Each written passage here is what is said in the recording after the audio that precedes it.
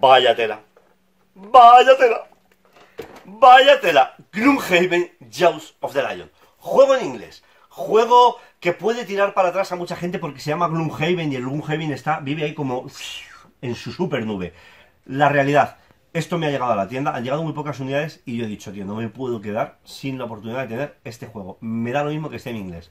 Lo voy a abrir, lo voy a abrir para todos vosotros, voy a abrir mi copia, mi copia, no os voy a hacer spoiler y os voy a contar el por qué me compro este juego y el por qué creo que muchos de vosotros también deberíais de tenerlo en vuestra ludoteca. Ojo, espero también ayudaros a hacer entender que algunos de vosotros no lo necesitáis. Vamos a abrirlo.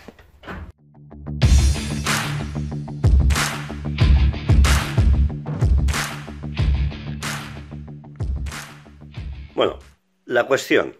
Estamos ante Gloomhaven Jace of the Lion. Es un juego muy especial para mí por muchas razones. La primera de ellas, porque es un juego que se puede jugar en solitario, pero es un juego de campaña, que es algo que me encanta. Eh, otra es que es un material que únicamente está en inglés, así que es más difícil de conseguir y de hecho ahora mismo estaba muy agotado. Hemos conseguido unos cuantos y yo me he podido hacer con mi copia. Y lo que es más importante, es un tipo de juego que es muy especial. Es un juego Legacy. No sé si conocéis el concepto de Legacy. Un juego Legacy es un juego que tiene continuidad. La historia comienza y la historia acaba. Y por norma general, los juegos Legacy no se pueden volver a jugar porque ya te los sabes o porque has ido rompiendo componentes. En el caso de Gloomhaven Jace of the Lion, eh, no sé si está ya disponible o va a haber disponible, hay un kit de reconstrucción que te permite volver a empezar desde el comienzo, o sea, permite resetear el juego, que es algo que me encanta. Vale, Aparte de todo esto, lo que tiene especial este juego, Gloomhaven Jace of the Lion, para mí, es que es el hermano pequeño de Gloomhaven, el número uno de la Board Geek, el juego eh, mejor valorado del mundo por los jugones. Pero, a diferencia del otro, esta versión no es un juego Em, complejo, súper denso, eh, muy complicado de aprender, que no, estoy diciendo que tenga nada de malo eso, que, o sea, que, el juego es una auténtica delicia, es una maravilla, es una fantasía, pero eh, sí que es verdad que es un tipo de juego que cuesta más llegar a cierto tipo de jugadores. ¿Qué pasa con, esta, versión de Jace of the Lion? Que estamos ante un juego cooperativo, igual que el otro, es un juego de aventuras, igual que el otro, pero han eh, suavizado muchísimo el nivel de las reglas. Eh, ¿Quiere decir que va a ser un juego fácil? ¿Que vamos a jugar un comienzo a la aventura de Dungeons and Dragons? Pues no, obviamente no. Vamos a seguir jugando un Gloomhaven. Eh, no es un juego tirado, es un juego eh, en el que lo que está pasando tiene mucho peso, la aventura tiene mucho peso. Y estamos hablando de un juego que tiene 25, 25 aventuras, si no me equivoco, sí, vea, 25 escenarios. tiene muchas diferencias con el otro. Para empezar, el contenido es mucho más pequeño. La caja, aún así, es un cajote brutal. Eh, no tiene muchas minis, de hecho, si no me equivoco, solamente tenemos estas cuatro minis, que además eh, todo lo que está aquí todo lo que está aquí es combinable con el otro, ya en plan de coña, pero es un juego independiente completamente. ¿eh? O sea, se puede utilizar como si fuera una expansión del Gloomhaven original, pero realmente es un juego por sí mismo. Pero bueno, eh, la cuestión es que estamos ante un Gloomhaven, ¿vale? O sea, volvemos a tener un Gloomhaven, pero bueno, lo tenemos en formato pequeño a un precio muchísimo más contenido, pero que estoy seguro 100% de que va a aportar esa misma cantidad de entretenimiento y diversión. a la gente que le gusta el, la literatura de fantasía o el cine de fantasía épica, rollo Señor de los Anillos, por decir un ejemplo, eh, seguramente le guste este Heaven. La gente que pide eh, un juego de aventuras y que quiera adentrarse en los Ameritrash, en los, bueno, Ameritrash, juegos de eh, mucho componente, pues seguramente le llame la atención este Gloomhaven. tiene muchas cosas que son muy positivas. Para mí, de verdad, lo más, lo más importante es que se ha simplificado mucho, se hace mucho más accesible, que es algo muy agradecido. El único verdadero problema que tiene en España, pues que estamos ante un juego que solo está en inglés, así que no vamos a poder eh, contar con él por ahora, al menos en castellano. Ni siquiera me he preocupado en saber si existen traducciones por ahí o no, eh, porque bueno, yo haré lo que pueda. Tengo a Eric que sabe mucho inglés y me ayudará, pero me lo quiero gozar tal y como viene. Pero bueno, eh, sí que me gustaba, me gustaba la idea de compartir un poco con vosotros el porqué de este Gloomhaven, por qué me hace tanta ilusión y por qué obviamente me he hecho con mi copia. Eh, me encantan los juegos que se pueden jugar en solitario, este es uno de ellos, se puede jugar de uno a cuatro jugadores, que ahí lo de las minis, que es una cosa que siempre está guay. Se puede jugar en compañía, de hecho yo intentaré jugarlo con Eric, eh, no sé si María también nos acompañará, pero no, eh, me gustaría intentar jugarlo con ellos, pero si no, pues no me importa, porque lo voy a jugar yo solo. Eh, sí que tengo pedido ya el pack ese de resetearlo, porque si no es para volver a jugarlo, sí que me va a valer para poder compartirlo con algún amigo, el poder dejar el juego para que lo disfrute desde el principio, porque sé que hay una serie de stickers, unas pegatinas por ahí que se van a, que se van a utilizar en los tableritos. Y bueno, eh, vamos a ver, no quiero hacer spoiler, no me quiero hacer spoiler a mí mismo, pero sí que estoy seguro de que hay poco contenido eh, en la red abriendo caja de este juego en español, así que no quiero perder la oportunidad de ser yo el que no lo hace. Así que estoy súper emocionado, ¿eh? no os penséis que no, me hace mucha ilusión abrirme este juegazo que ya me cuesta abrirlo porque sé que está ultra cargado. Vale, eh, no os voy a mentir. Sí que sé cómo es, pero no he visto, de verdad, no he visto ningún unboxing de él, no he querido hacerlo. Así que lo voy a descubrir con vosotros. Aquí tenemos una hojita con un Welcome to Gloomhaven y lo primero que nos dice es a ver que enfoque. No enfocará. Si no enfoca, no lo leo. Os lo prometo que no lo leo si no enfoca. Ahora sí. Para. Lee esto antes de que hagas ninguna otra cosa. Hay más componentes en esta caja de lo que tú te puedes, eh, de lo que vas a utilizar, de lo que puedes utilizar. Eh, y es importante asegurarnos de que estén organizados antes de que empieces a jugar el juego. Esta hoja te va a dar eh, unas instrucciones paso a paso de cómo organizar con facilidad tu caja de juego. Eh, y, dónde vas? Vale, vale. Y cómo prepararlo para eh, empezar a jugar lo más rápido posible. Vale. bien. Yo primer aviso ya te acojona un poco, pero no importa. no voy a hacer spoiler, ya os lo digo.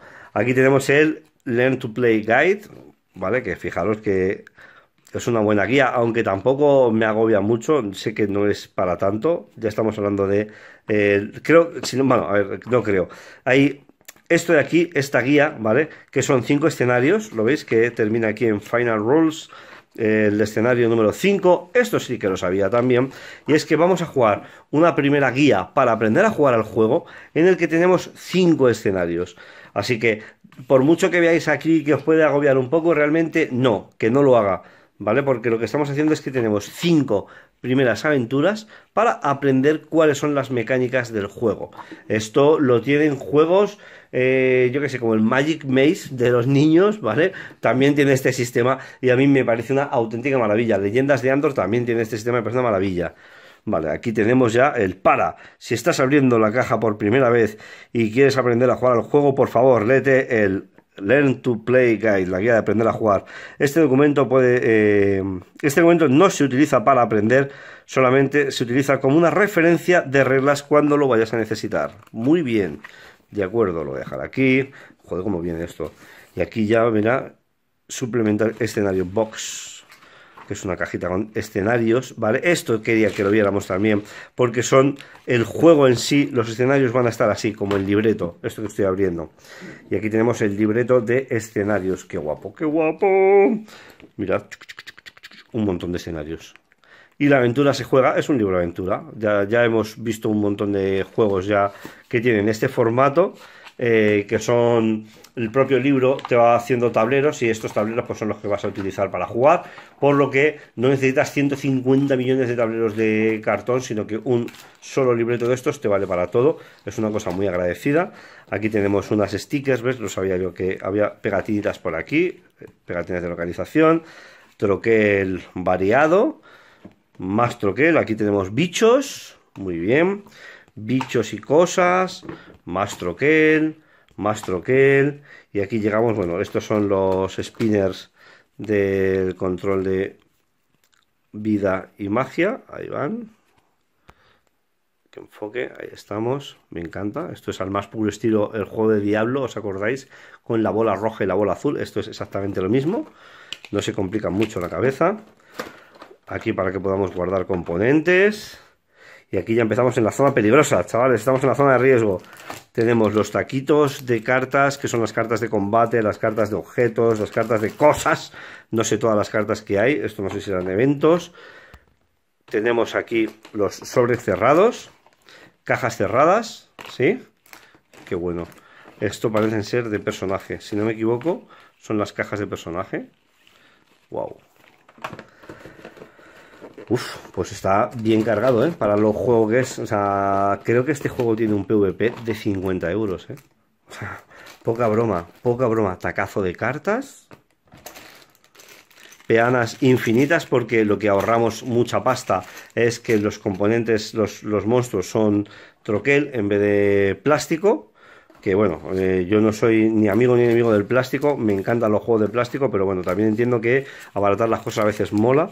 Aquí tenemos unos sobrecitos que son eh, especiales que van a marcarnos esto que estáis viendo aquí, por lo que veo, ¿vale? Esto va a ir rotando en estos... Tiene toda la pinta, ¿lo veis? ¿Sí?